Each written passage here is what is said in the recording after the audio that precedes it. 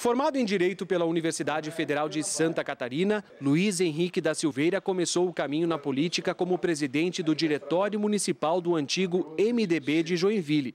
Foi lá também que ele exerceu três mandatos como prefeito.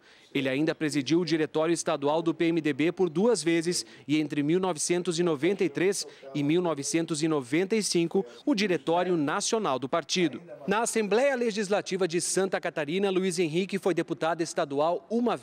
Isso aos 33 anos de idade no início dos anos 70. Depois, foi eleito deputado federal por cinco vezes e em três delas foi o mais votado de todo o estado.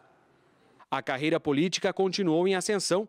Luiz Henrique foi ministro da Ciência e Tecnologia entre 1987 e 1988 no governo de José Sarney. Foi eleito governador de Santa Catarina por duas vezes e em 2010 se elegeu senador da República, cargo que ele ainda exercia e que só terminaria no ano de 2019. Com a morte de Luiz Henrique, quem assume o cargo no Senado Federal é o primeiro suplente, Dalírio José Beber, do PSDB.